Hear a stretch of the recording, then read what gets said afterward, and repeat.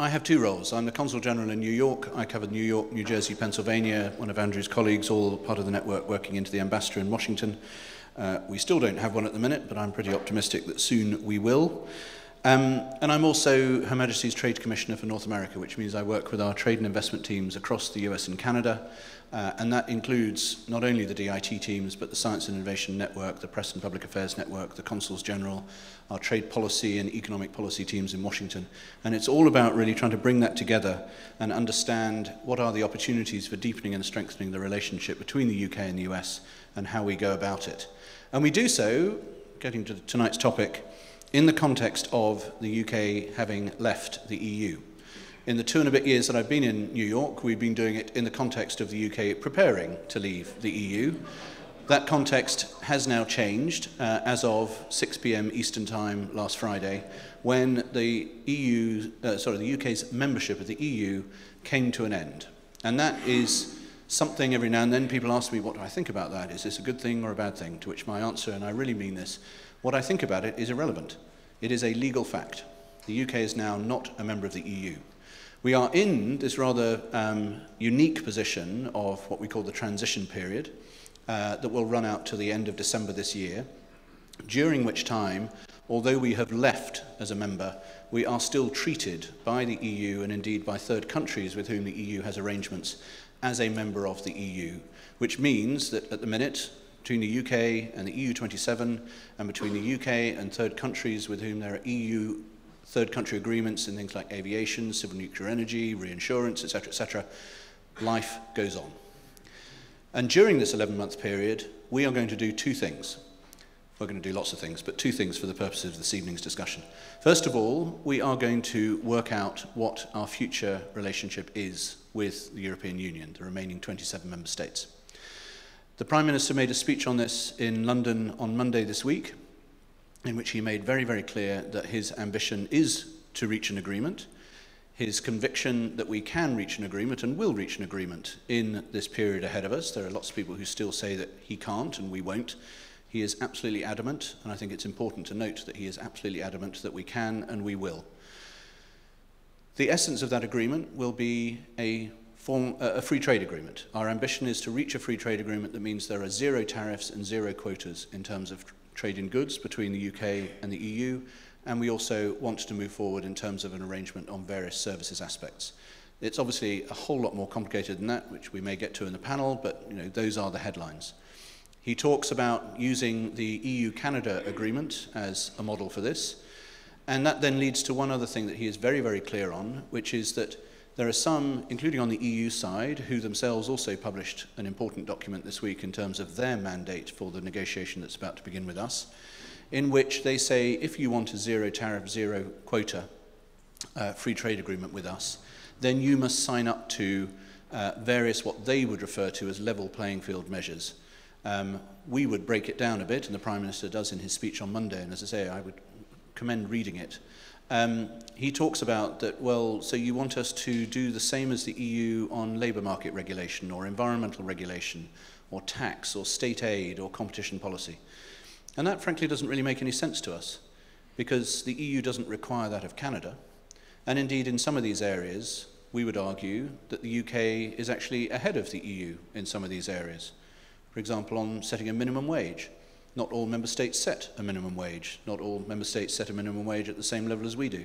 So the logic of applying a level playing field is a bit curious. It either means that we have to lower or even maybe abandon the minimum wage, which we're not about to do, or it means that the EU needs to come up to our standard. And we're not asking them to do that as part of the agreement with us, and therefore we don't see the logic of them asking us to do it with them.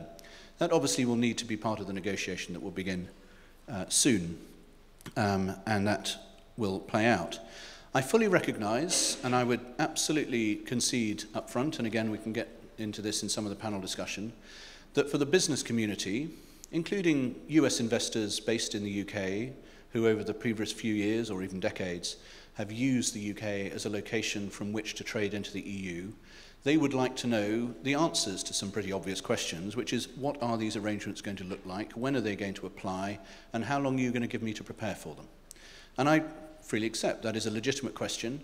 And we are going to be working through this as soon as we can in order to give them answers to that question as soon as we can. There is also another piece to it, which is in terms of the UK US relationship. Some of the agreements that we are part of now as a member of the EU, and as I said earlier, remain uh, de facto part of, if not de jure, over the next 11 months, we also need to understand how we're going to replace them. So on aviation services, civil nuclear energy, reinsurance, uh, you know, I mentioned them before because those are on the forefront of my mind in a US context.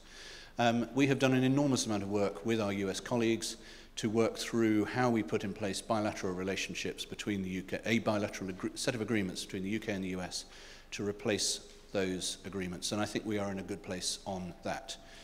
One thing we also launched a consultation on today in London was what we call uh, what should be our MFN tariffs. Uh, we, the UK, when we leave the common external tariff at the end of this year, what should we apply from day one, as in 1st of January 2021, should be our external tariff to the rest of the world.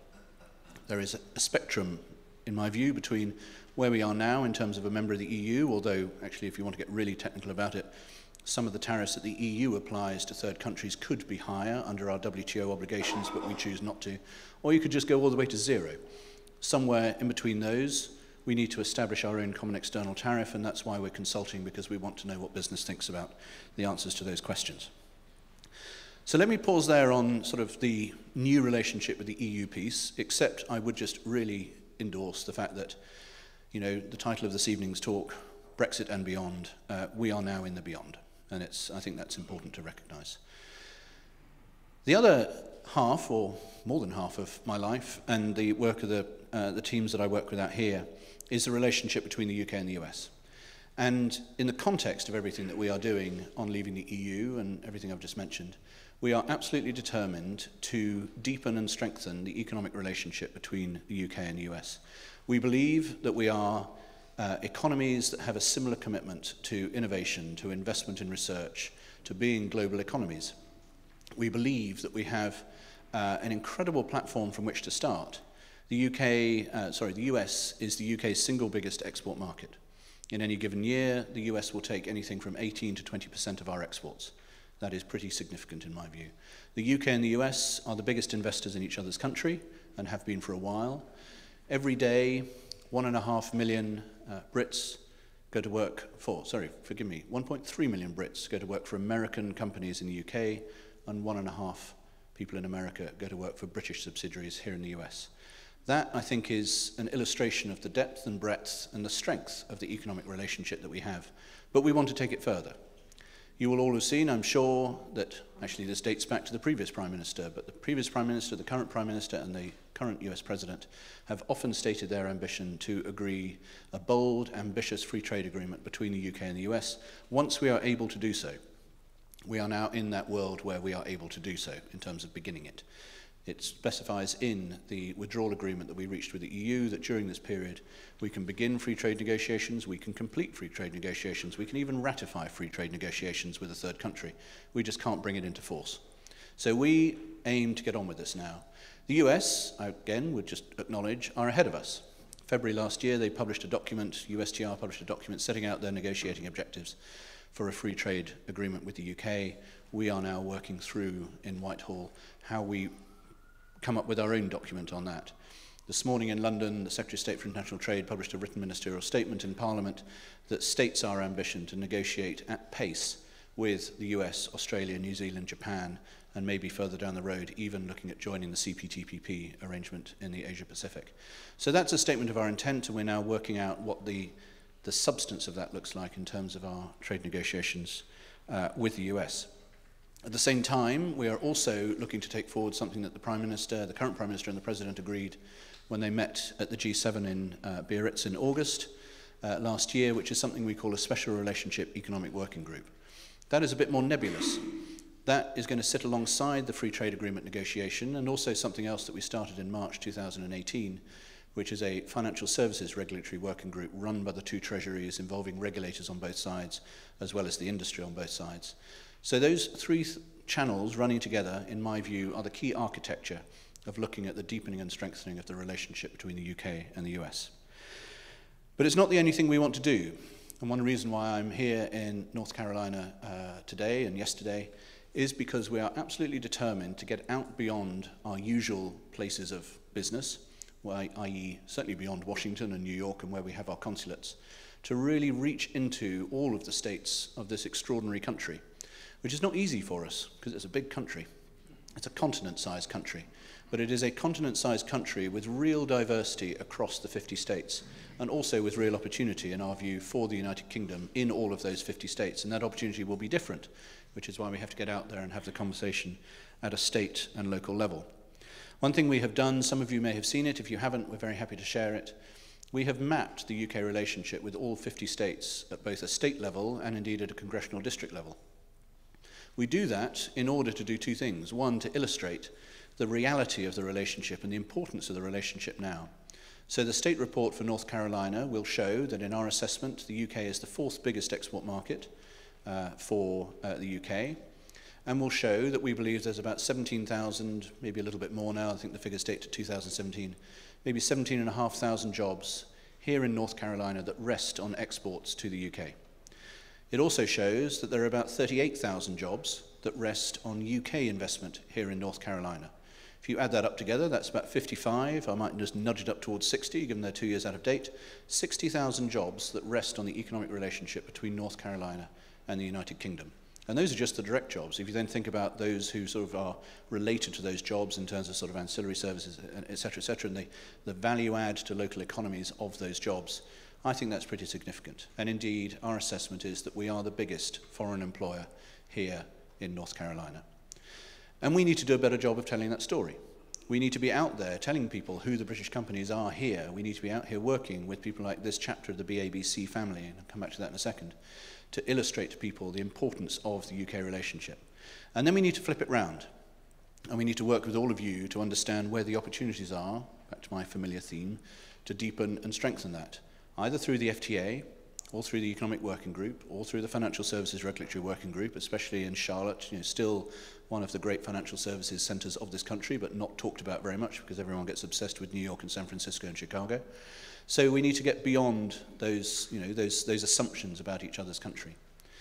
The other thing we want to do is we want to work with state level and local level um, uh, legislators and, and governors uh, because we want to see what we can do with them. That doesn't mean necessarily that I think we're going to do a free trade agreement between North Carolina and the UK because I don't think that's really the way to do it. But there is more we can do to tell each other's uh, story. And we have set up a network of what we call senior trade policy advisors across the US. There's one based with Andrew and his team in Atlanta to pursue that agenda. So that's what we're doing. Um, I want to touch on one final topic and then one final theme, and then I will stop. The final topic is that uh, for the UK, Um, not only because we will host the COP26 meeting, the, uh, the meeting of the committees of the parties under the Paris Agreement uh, in Glasgow, uh, Scotland later this year in early November. Um, for a long time we have been very committed to addressing what I would loosely call the climate challenge. We are absolutely determined to do so because we don't actually think we have a choice to do so. If we don't do so, then we have an enormous problem because there is only one planet for us to live on. And you know, we often talk about what are we doing to the planet. The real question, in my view, is what the planet will do to us and whether we can live on it if we don't find a way of slowing all of the issues that we've been talking about ever since the Kyoto Agreement, frankly, and then brought together in the Paris Agreement. And we will bring the parties back together in, December, in November this year. And I think, you know, it is a sad reality that we will find that we have not kept pace with the commitments we made to each other in Paris uh, four or five years ago, but now is a time for us to get a grip on this. But the reason I mention it to a business audience is that we are absolutely committed and determined and also believe that we can do so alongside a commitment to economic growth, alongside a commitment to prosperity and future uh, economic opportunity. Since 1990, the UK economy has cut its emissions by 42% while growing by 66%. So we can do it but the bottom line is that we have to do it. But the business contribution to that discussion is absolutely crucial.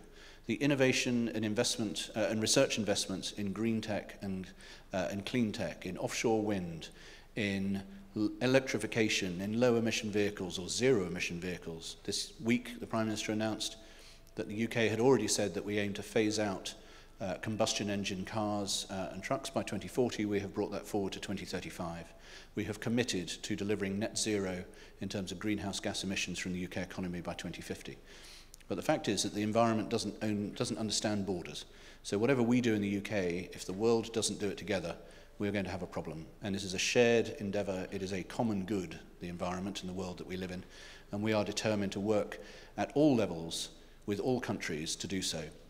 And there is enormous opportunity for us to do so with governors and business groups and universities and research institutions. We talked to colleagues at Duke this morning. We were at North Carolina State this afternoon. I'm afraid, Ted, we didn't go and call on the University of North Carolina, but I will come back, I promise. You know, and we have to get this done. So that's it. Final thought that runs through all of this, in my humble opinion, whether it's what we do next with the EU, what we do next with the US at a national level or at a state level, what we do next on the climate agenda, is an absolutely crucial partnership that we need to drive and create between the public sector, the private sector, and academia. It runs through something that we've talked a lot about in the UK over the last few years that we call our industrial strategy. It runs through everything, in my view, that our network out here needs to be committed to doing. It's why it's an enormous pleasure to be able to engage a group like you this evening. Please do let us have your challenge, your comments, your questions, both in the panel, afterwards to me, to Andrew, to my other colleagues. Thank you very much indeed.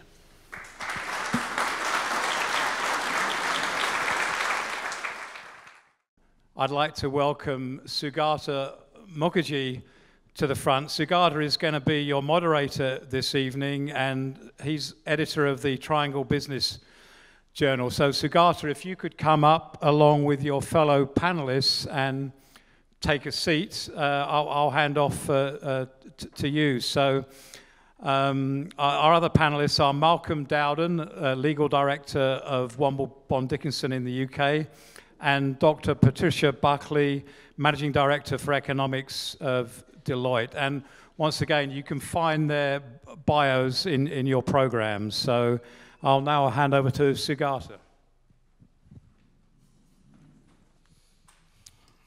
Thank you, Steve. This is quite a nice, intimate gathering here tonight, especially at this weather. My goodness. I was telling um, Mr. Phillipson that thank you for bringing the weather, British weather, with us. so, uh, since he pretty much uh, answered all the questions I had, I say we talk about Super Bowl halftime. What do you think? I read something this morning I wanted to sort of read uh, to you guys for a few minutes because I think it sort of puts in perspective, and then perhaps I will start asking a uh, couple of questions to the panelists and then sort of move on from there. This actually came out in Foreign Policy this morning. It talks about the EU. The setback, the Brexit, is the latest in a series of body blows that the EU has endured over the past two decades. The first was the Balkan Wars of the 1990s, where the EU proved unable to handle the conflict without calling the United States. The next blow was protracted Eurozone crisis, which led to the severe economic hardships in several countries, fueled considerably resentment between creditor and debtor nations, ate up vast amounts of time and political capital. The third was the 2015 refugee crisis, which exposed deep divisions within the EU and gave far-right nationalist movements and liberal, illiberal leaders like Hungary's Viktor Orban a major boost. Why are we talking about this today? If we're going to talk about beyond, we sort of need to know as to what exactly happened with Brexit. And we, will I, I, think, I, I think uh, Mr. Phillipson sort of chronicled it quite nicely. I would like to ask Patricia from her point, from her business stand as to what she, her expertise, and then Malcolm to sort of briefly sort of lay the plan as to why are we here today that we have to talk about beyond?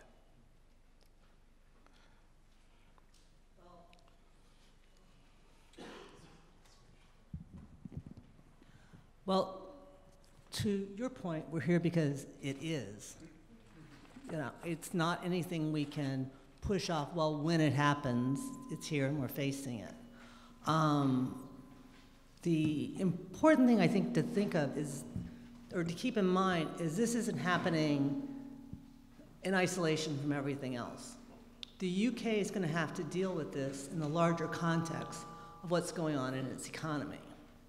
There are other headwinds facing the UK. There's going to be slower job growth this year. It's part of natural of an aging society, so you're not going to get that pickup um, that you've had in prior years.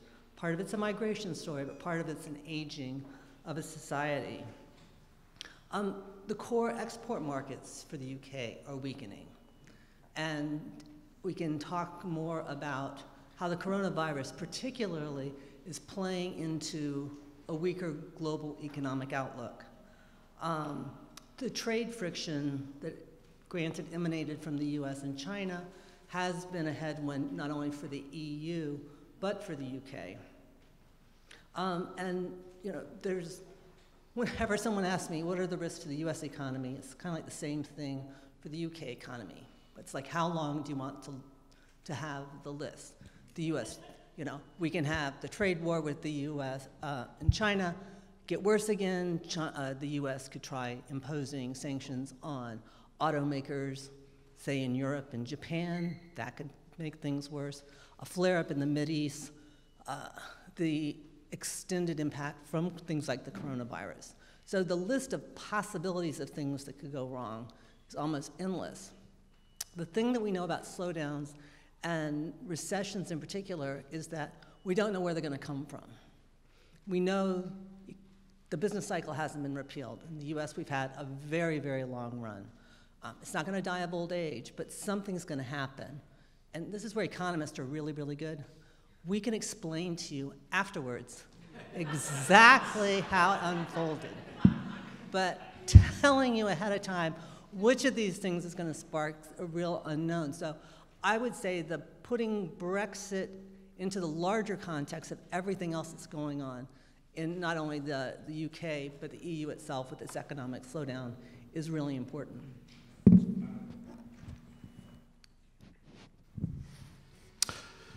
So I walked into a bar last night in DC, as you do, and to my surprise, found Nigel Farage holding court.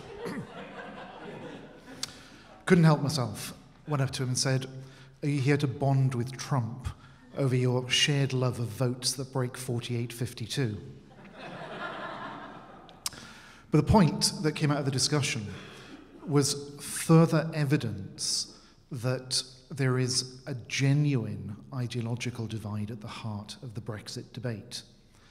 And I first really came across this when I was reading the pro Brexit think tank reports that were published in the aftermath of the referendum. And there was one of those little phrases, scientifically proven harm, that pervades the pro Brexit think tank reports.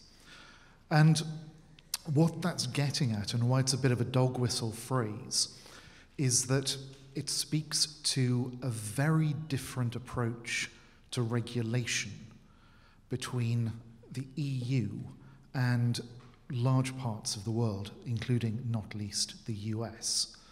Um, regulation tends to bite at the point where there is scientifically proven harm here, as opposed to the EU approach which is the precautionary principle.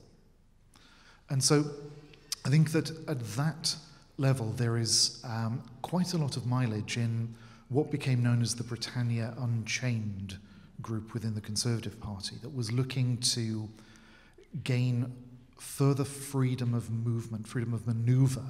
Freedom of movement's really not the right phrase. Um, freedom of maneuver when it comes to striking trade deals and to essentially taking a little bit more of a creative role um, in global trade.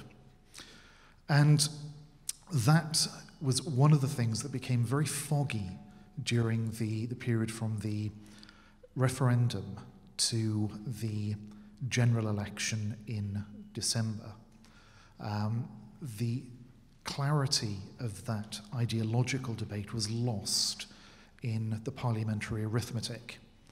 Now, I've written loads of articles on Brexit since uh, 2016. I've written about 55, 56 articles. And people say, well, how can you write 55 or 56 articles on Brexit? The actual truth is, I've written the same article 54 times. and only now am I able to say something different because the general election result means that the UK government, having a majority of 80, is now able to get done what it wants to get done. So, why are we where we are now? How are things going to, to pan out? I'd strongly recommend that you keep an eye on the cabinet reshuffle that um, is expected within the next day or so. And not just in general, keep an eye out in particular for a minister by the name of Rishi Sunak. Um, Rishi Sunak was a junior minister, um, housing, communities, and local government. He then became chief secretary to the Treasury um, when the new Prime Minister took office. And Sunak has been for a long time a strong advocate of free ports, free trade zones, and the reshaping of the UK economy. Unsurprising, he represents a North Yorkshire constituency. So, one of his real driving concerns is how the post Brexit opportunities can be used to rebalance the UK economy, to encourage manufacturing, to encourage chemical processing in the northeast, advanced manufacturing in the southwest. And if there is any merit in Brexit, then that is, I think, where it would lie. And that would at least give some intellectual cogency to the frankly, agonizing process we've been through in the last three years? Uh, um, you brought up a lot of points, uh, and so did Patricia, and of course, uh, starting with. But, you know, the, in the US, when we look at the US economy and we, then we compare it with the economies around the world, um, frankly, we, the underlying uh, um, characteristic, what we look for, is not only the business trade, but what is happening with the population. And I'm, I'm afraid Europe has a big, big problem. Europe's demographic is in a literal demographic crisis, the full impact which is still not fully appreciated. It is now the world's oldest continent, with a median age close to 45, and its working age population is projected to decline by some 50 million people by 2035. In the East, this problem has been compounded by what's called not immigration, emigration. Croatia has lost 5% of its population since 2013. Bulgaria's current population is projected to drop by 23% in the next 20 years. My question will start with um, Mr. Phillipson. And I, I, I want to start with the US UK. Why should US US has lots of problems. You sort of mentioned a couple of them. US right now needs to get the China thing done in terms of trade. We need to have that agreement done. And it, I'm not saying that they can only do one at a time, but clearly that seems to be the biggest thing. Why should US be even interested in doing a deal with the UK? Could you explain that to me a little?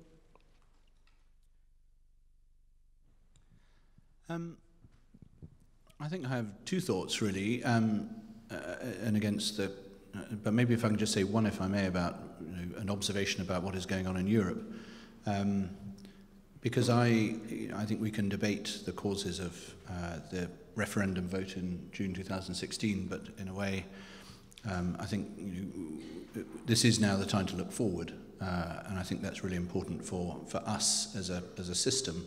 Um, and uh, in terms of the UK and the US, why should the US want to do uh, an agreement with us? I think there is still economic benefit to be had. Um, there is, uh, it may not be um, as much as sometimes people rhetorically suggest, but I think there is still significant value add. I also think that there are particular sectors where deepening and strengthening the corridors between the UK and US, including, for example, financial services, advanced manufacturing, uh, creative industries, there is real value to be had if you, if you look at existing patterns for trade and how we can accelerate those. Um, I also think, though, that, and this I think maybe takes us into a sort of broader uh, uh, discussion, the UK and the US have operated within the global economy within a certain architecture uh, over the last, well, certainly since the Second World War. To some extent, similar architecture. Well, yes. exactly, and I mean, it, we, we created it together to some large degree in the in the 1940s and after the Second World War. Well, not just us, but we were certainly both sitting at that table. Um, my own view is that one thing that we have seen play out that has created the context uh, for quite a number of the issues, including those mentioned by Patricia, is a sense of, you know, that, that sense of public support and the momentum behind a sort of a trend of globalization. I, and I know this is grossly oversimplistic, but that sort of momentum behind globalization has slowed. And for some time now, if we look back, uh, including, I would argue, when I was working in Washington in the early 2000s, um, when there was always a debate, whenever there was a debate about whether to grant free uh, fast track authority or trade promotion authority, there always had to be a debate about trade adjustment assistance, because that was how we, at that time, in my view, again simplistically, got through the debate about the, the cost of, of trade liberalisation. And I just think we've sort of lost sight of that a little bit. And I think we need to get back to that. So the reason I mention that is I do also believe that there is an imperative for the UK and the US to get back to having a conversation about the type of global economy in which we want to operate and in which we will benefit in order to provide prosperity, in order to provide economic growth and opportunity, uh, in order to make our economic model um, sustainable. It's not just us. I would love to include in that the likes of Canada, South Korea, Japan, Singapore, Australia, and a number of the European member states. So, you know, I think we need to get back to that sense of a forward-facing discussion about the type of, economic, uh, type of global economy that we want to live in. And I think at the heart of that, a UK-US, a, a tightening of the UK-US economic relationship, including but not only through an FTA, is important. Uh, uh, Patricia, do you have any thoughts beyond the realm Yeah. of what he said? Yeah, it, it's, I find it astounding still. And granted, four years have passed. But in 2016, when Trump started speaking out against trade, I found it startling that Secretary Clinton, who was running point on a lot of trade, in the Obama administration couldn't articulate why we trade in the first place. Somehow, we've got from trade is good, and we don't pay any attention to the adjustment things, and we can talk about some of the issues with trade adjustment assistant program, but we've made trade the bad guy. When what we're trying, what we should be trying to get to are the root causes of income, growing income inequality. And somehow, growing income inequality. No, I, the, that's the issue, is growing income inequality. It's true in the UK. It's really tr- it's. You don't think that's an issue? No, it's a huge issue, but it's not necessarily a trade issue. People, the problem is when you see a plant close in a particular location, it's highly localized. The a plant closes, an entire community can suffer. So you've got very localized pain. The gains from trade, however, are diffused all over the economy.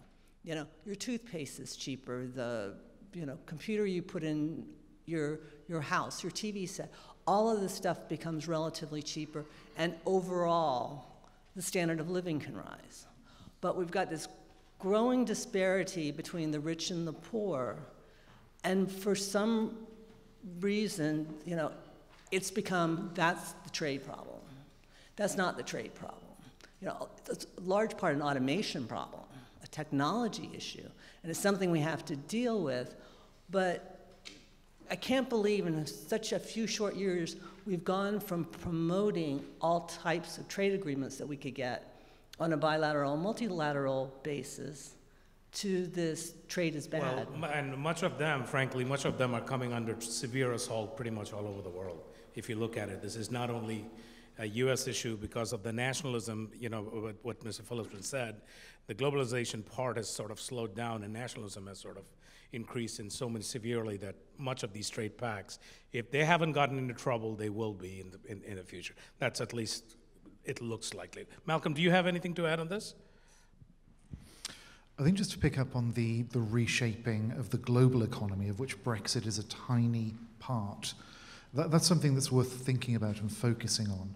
And if you think of it from a technological perspective, there's been a huge development in things like blockchain, distributed ledger technologies that are transforming the way in which supply chains operate.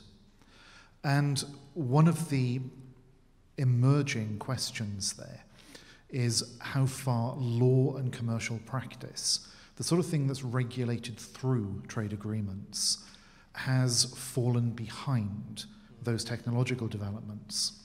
So I think my underlying answer to your question about why should the US and the UK be concerned with trade agreements is that you have to think of supply chains as pipelines. Pipelines only work if they work at each end and in the middle. And um, so, you know, we really do need to kind of reshape the way that the law operates.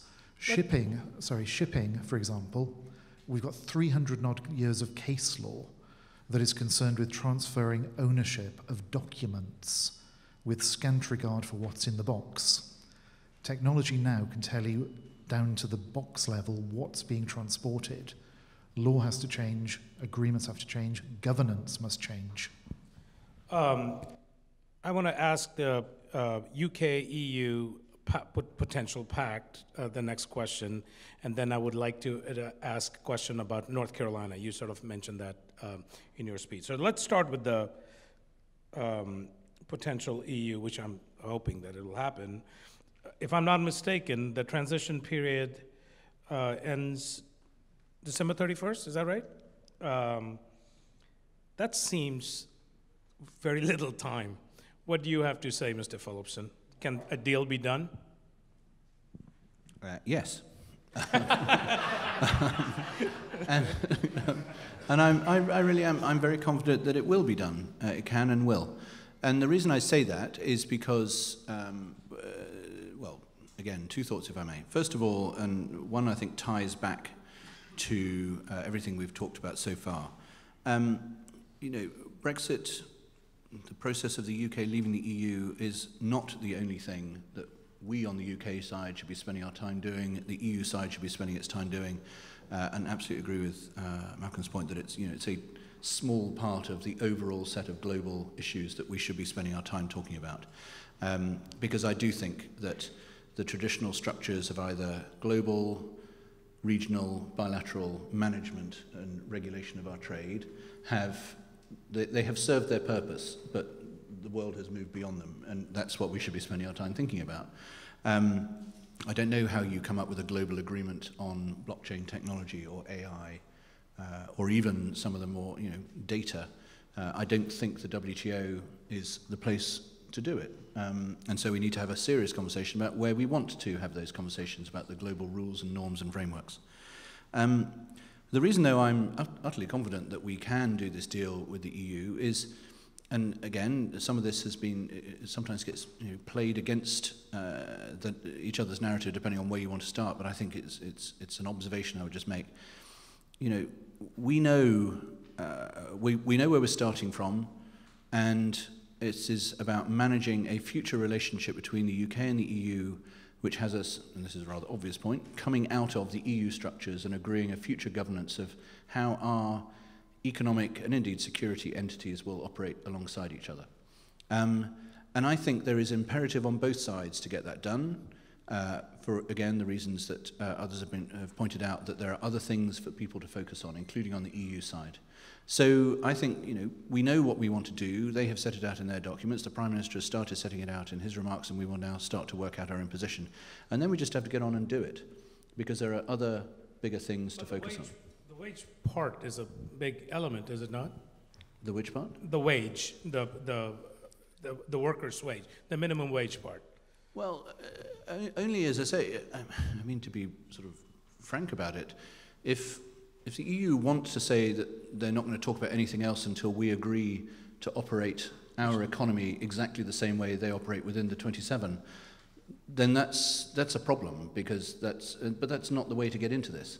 You know, let's focus on the common objective of working out a, an economic agreement between us and then getting on and, and, and implementing it so that we can then focus on uh, the other things that we want to focus on on our side and they want to focus on on their side. Right, right. Uh, Patricia, do you think they can get a deal done by December 31st, 2020? A deal, yes. Um, is it one you're going to be happy living with in the longer term? I don't know. But, you know, trade deals get modified over time. So, you know, a starting point would be useful. And it's not like you're creating it totally out of whole cloth. Um, you've got a relationship with the EU now. You've got a relationship with the US now. We had a lot of negotiations on TTIP um, before the 2016 election. So there's a lot of groundwork for what a modern trade agreement, one that talks about the very issues that you do, you know, not only the technologies of blockchain and AI, but cross-border credentialing, you know, things that are very important as services become a major traded item. Malcolm? Well, I have the luxury of being a lawyer, not a diplomat. So, therefore, I can say that the right answer is it depends. Um, That's usually the on one hand, on the other hand. But I think the, the important point here is that all the way through the Brexit process, the line that we've stuck to is we can only advise on the law as it is, and businesses can only deal with the law as it stands. And one of the things I've found striking over the last three years is that UK businesses have found ways of building in resilience, of using existing legal structures to make sure that they're essentially still open for business. And even if we get to 31st of December 2020, and what we have is a paper thin agreement with a load of things left outstanding for, for example, when the government's trade advisory panel has been appointed in November. Um, lots to do after that. UK business will cope because, you know, frankly, it's well advised. Mm. Uh, just, just to point of reference, the Canada EU deal, deal, what do you think it took? How many years? Seven. So we're talking 11 months here. All right. Before we open, the, uh, uh, open it to questions from the public, uh, one final question.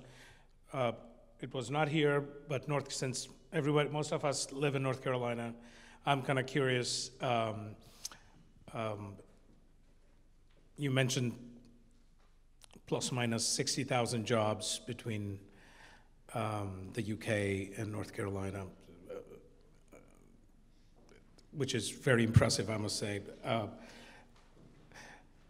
what, what do you see North Carolina beyond the beyond a potential UK-US deal? What have you noticed about North Carolina that has impressed the UK government? Um, I'm not sure it's a single thing, and uh, and again, I, I say, say the multiple yeah. things. We're okay. No, no. but and I, and I always hesitate, this is where I do become a diplomat, I hesitate to comment on a place that I've spent you know, fewer than 48 hours in.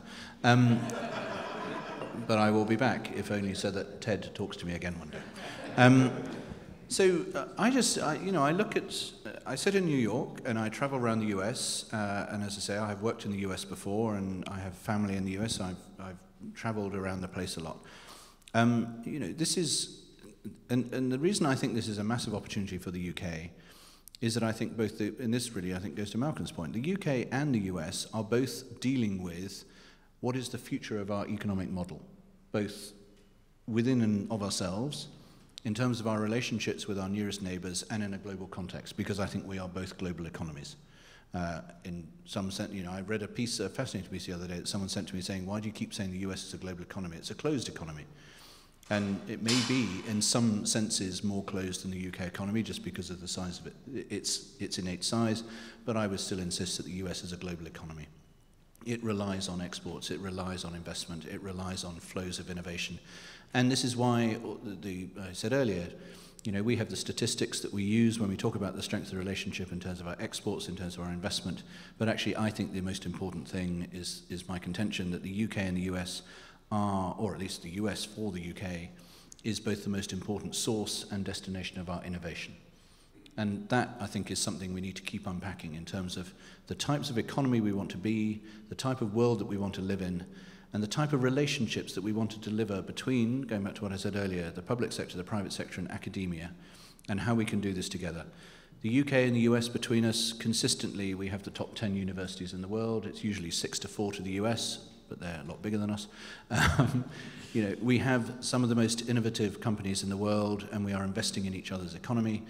But, you know, I think, and this really goes to the title of the, the event, this, for all these reasons, we need to sort of get beyond just focusing on whether we're going to be able to recreate through the next relationship what we have had in terms of our relationship with the EU over the last 47 years. Um, we need to look forward. We need to think about what type of economy we want to be. And I just would simply insist that the US will be a key partner in that. And in order to maximize the opportunity of that, we have got to get into all parts of economic opportunity, activity, and growth uh, across this extraordinary country. So, North Carolina, for me, on the benefit of fewer than 48 hours, is a you know, real research excellence here through the universities, real centres of excellence in some of the issues around uh, some of the sectors that we care about as well, like financial services, pharmaceuticals, um, and indeed agriculture. Um, and how are we going to bring those conversations together? The real challenge for us, and I, by us I mean my, uh, me and Andrew and his team uh, in Atlanta covering the six states around here from there, is how do we prioritize? You know, we can be overwhelmed by the number of people that we need to talk to, the conversations that we need to have. And that's where you all come in, because we need your help and your guidance to tell us where you think the opportunities are. Because I go back to something I did say in my opening remarks, that at the end of the day, um, or if I, I'm sorry, maybe I didn't say them in my opening remarks, this is about the third time I've done this version of the speech today, forgive me. At the end of the day, I don't create jobs. You create jobs. So our I think I did say this bit. Our job is to help you do more business. So, you know, North Carolina and for just doing this. That's a tip for me to stop. Thank you. Um, well, I'll, I'll, uh, we'll, we'll make collectively, we'll make it easier for you and Andrew. I think uh, you'll see most of the opportunities in North Carolina uh, for the UK. Anyway, open uh, uh, any questions before we uh, end this conversation. Yes, sir. Quite recently, we've seen quite a raise in the agricultural lobby uh, in regards to the trade agreement. So I just really wanted to know, from your point of view, how much is the UK willing to sacrifice in order to get a good trade agreement with the US? See if this works. Um, so the risk of being really annoying, um, I think sacrifice is the wrong word. I think the conversation that we need to have with the US, and indeed through something we call the Trade and Investment Working Group that has been meeting since the summer of 2017, uh, we have been talking with US colleagues in Washington, uh, not only USTR but the other major departments, about the type of trade agreements that they have done with others. We have watched very carefully what the US has done uh, both through uh, NAFTA and then through the renegotiation and, uh, into USMCA. You know, trade agreements are about give and take. They are about reaching mutual agreements on mutual benefit. Um, uh, and so I don't think, I think sacrifice is the wrong word. Um, because if you make it a sacrifice, then I think you automatically create sort of a, a sense of resistance to the deal. Um, having said that, um, I myself believe, and we have said to our colleagues in London over and over again, but they don't actually need us to say this because they know it themselves. Um, you know, we are not going to get a trade agreement through Congress unless there is something in there that meets the aspirations of all key stakeholders and st key stakeholder groups uh, in the US, and the agriculture lobby is definitely one of them. Uh, will it be some specific issues that people always go on about around chlorine washed chicken or hormone beef? Uh, we'll see where we get to in the negotiation, but as the Prime Minister and others have said, we have an approach that we have taken to food and animal safety standards uh, that we don't intend to have to compromise on. But we will, the, the overall conversation will need to include enough on both sides in order to allow us both to confidently say that this agreement that we plan to reach is in the interests of both economies and then get it approved by publics and indeed parliaments on both sides.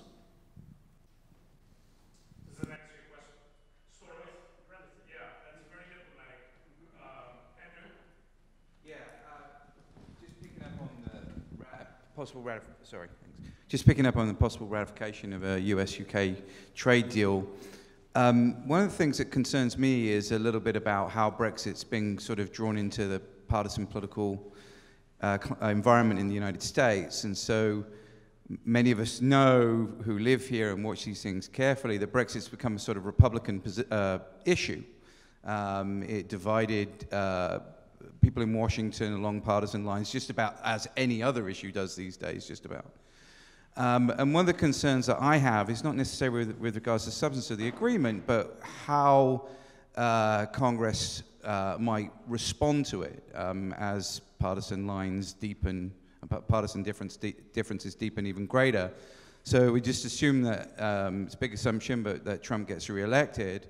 It seems highly unlikely to me, as a Congress watcher, that um, the, House will flip. I think, you know, it's, uh, uh, who knows about the Senate, but I, think the Democrats will maintain the House.